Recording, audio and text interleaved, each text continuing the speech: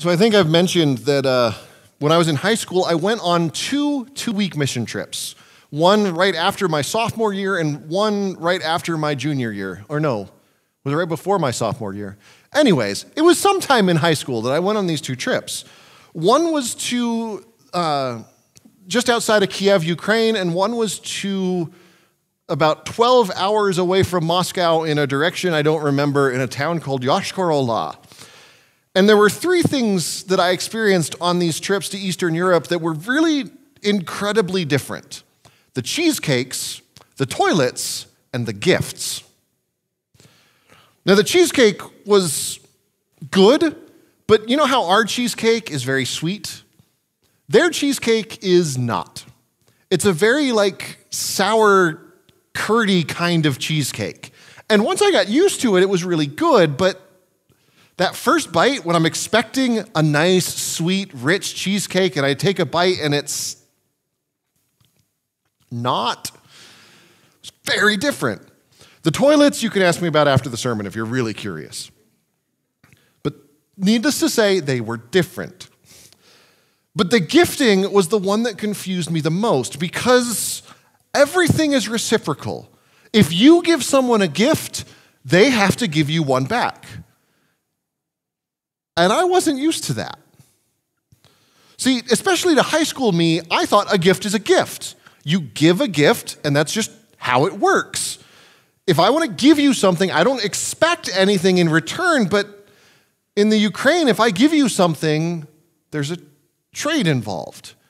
It becomes this strange relationship thing that I don't fully understand the sociology of, but I remember distinctly accidentally hurting some poor kid's feelings because I gave him a Bible and he wanted to give me this chess set that he loved and was dear to him. And I'm like, I can't take that. And of course, the kid was crushed because in their culture, gifting works in that way. You give each other something, but I wanted to just give the kid a Bible. I was very confused. Then, as I got older, I realized that we do, in fact, have a similar sense of obligation when it comes to gifting. We can see it in how we do Christmas and birthday gifts. Like, let's see, so and so got me a gift for $20 last Christmas, so I need to get at least a $20 gift for them this Christmas. Unless they give me a $30 gift, in which case I'm going to look bad, so I need, maybe I should give like a $25 gift just to be safe. I mean, have we ever played those games? It's just, it's not even something that we really do consciously. It's just kind of like, oh, I need to get stuff for, this, for these people because that's the expectation. A lot of times we view God's law in this way. I've even preached this before, and I feel kind of bad about it now. That God does amazing stuff for us, and then we have to give back to Him by following the law. But the more I've come to understand the law, I think I've got it wrong. Because if God does something for us out of His grace, if He's giving us a gift, why should we have an obligation to do something back? That doesn't make sense. If the gift comes with an obligation, is it really a gift? Aren't I just getting paid then? I mean, if I do work, like for, for me, it's at the church, but for other people, it's at your job. If you do work for your job, you get paid for it. You get paid because you did the work. But when you get a card from someone and it has a check in it, you didn't work for that check. The check's a gift, the other one's work. And I think the more that we try to say things like we respond to God by following the law, then that makes it work. And we start to have a problem. Because I think what the law is really about, all of these commandments that God gave us, the ones we read 10 of them today, I don't think they're so much meant to tell us how to respond to God. They're not meant to tell us what God expects of us, but instead they describe what a person who's following God will act like. I know that's a weird little distinction, but I think it's an important distinction. Because the way that we interact with God isn't like, it's not like there's a balance sheet where we have so many sins on one side and God has so much grace on the other side, and God takes his grace and pays for our sins. And I don't, I don't think it, I don't think that's all there is. Because that just makes our lives down to accounting. And some people really love accounting. But I try to avoid accounting as much as I possibly can, which bites me in the butt around tax time, but what do you do? But so these, but what I think God is really looking for is not for us to try to keep our balance sheet down. God wants us to actually spend time with God. Because when Jesus called his disciples, he didn't say, Come follow the law. He said, Come follow me. Our call as Christians is not to follow the law, it's to follow God. But as we follow God, we will follow the law. Following the, the law doesn't mean we're following God, but following God means we just will be following the law. The law describes a person who is following God. Does that make sense? It's weird. It's a little different than what we might be used to. But I think it's important. Because I think if we treat the law as anything other than a description of what a person who follows God is like, the law can very easily become legalism. The sense that we have to do these things for us to be good Christians. We have to love the Lord our God with all our heart, soul, mind, and strength, and we have to love our neighbor as ourselves. Or else we're not a good Christian. That's a dangerous way to look at things, right? Because I don't know about you, but I imagine that if I say this, we'll all pretty much agree. I don't always love God with everything that I am, and I definitely don't always love my neighbor like I love myself. But I want to. I want to follow God. I don't always, but I want to. And I think that's what God's looking for. I remember some weird church growth thing that I went to years and years ago. And it was talking about a bullseye. And the way we tend to view church is you've got this bullseye, and on the outside is the people who are outside the church. And then the closer you get to the middle of the bullseye is the people who are better Christians than everybody else. It was like core, uh, core crowd or community. There were all kinds of weird names for it. But then I remembered somebody else who was looking at that and went, I don't like that. And he started drawing arrows all over this bullseye. So, because he's, he's going, what if you're in the middle, but your arrow is pointing out?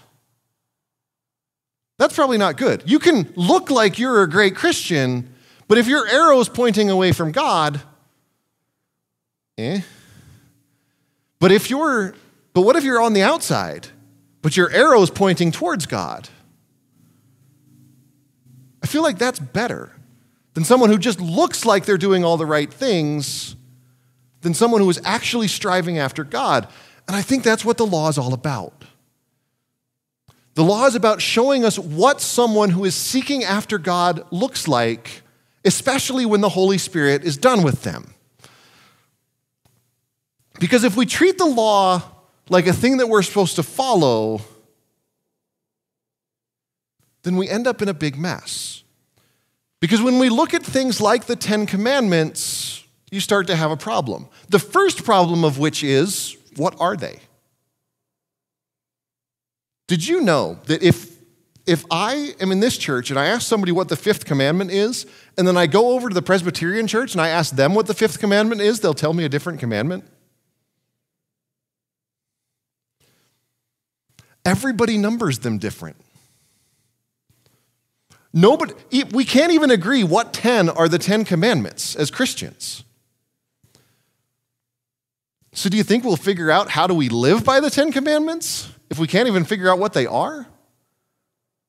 See where it's handy to view the law not as a prescription, but a description. Because everybody's lists are different and everybody's prescribing something a little bit different. That, and of course, if we treat the Ten Commandments as things that we're supposed to do, like, okay, well, today I'm supposed to not have any other gods before me, we'll never get past the first one. Because that's just how we are as people. But if we treat them as a description, as I follow God, I won't be worshiping any other gods. That one kind of makes a little bit more sense. As I follow God, I will keep the Sabbath. I'll keep a time for me to spend time with God as I'm following God. As I'm following God, I'll honor my parents. As I'm following God, I won't kill, steal, commit adultery. I won't want other people's stuff. I won't bear false witness. Because as we seek after God, the Holy Spirit works in us to make these things happen, to make us more like Christ, who perfectly fulfilled the law. Because it's hard to keep the law. It's hard for us to juggle all of these things and say, oh, well, I don't want to break this law and I don't want to break this law. It's hard enough to keep love God with everything you are and love your neighbor as ourselves. That's why it's the first, that's why that's what we confess every single Sunday. I haven't loved God and I haven't loved my neighbor.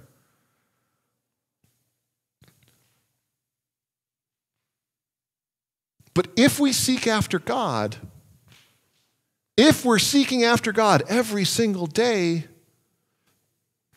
then today I love God and my neighbor a little more than I did yesterday. And I hope that tomorrow I'll love God and my neighbor a little bit more. Because that's how it works. Because as we're following God, as we are seeking after the one who calls us to follow him, he makes us more like the kind of person the law describes. He makes us into the kind of person who won't just not kill people, but who will help those who are in need. Because as Luther describes in his large catechism, breaking the fifth commandment is even something as not helping someone who needs it. And as we follow God, with God at our center, then everything else with the law falls into place. Because it's not so much that we need to always be loving God with everything that we are, because God will help us love Him more every day. It's not that we always have to love our neighbor, God will make us love our neighbor more and more every day. It's a different way of thinking about the law, but I think it helps to take some of the pressure off. Because it means that I don't have to change myself to follow the law. I don't have to be responsible for me keeping all of these commandments. All I have to do is follow God. And God takes care of the rest. God takes care of making me more like Christ, of making me fit the kind of person who's in the law, the kind of person who does love God with everything they are, the kind of person who does love their neighbor as they love themselves. Because if I had to do it on my own, I know I couldn't. But with the Holy Spirit working in me, I know the Holy Spirit can do anything. So let's look at the law a little bit different. Not as a list of things that we must do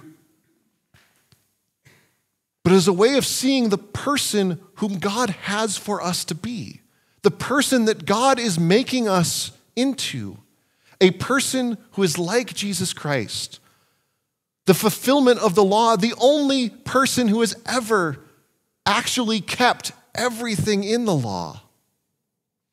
Because the law is talking about him. So let's live our lives not following these rules and regulations, but instead following Jesus Christ. Because as we follow Jesus Christ, the Holy Spirit will help us to be the person that the law says we will be. Help us to be a person who loves God with everything that we are and that loves our neighbor as ourselves. Not because it's a command, not because it's a response, but it's because who we will become in Christ.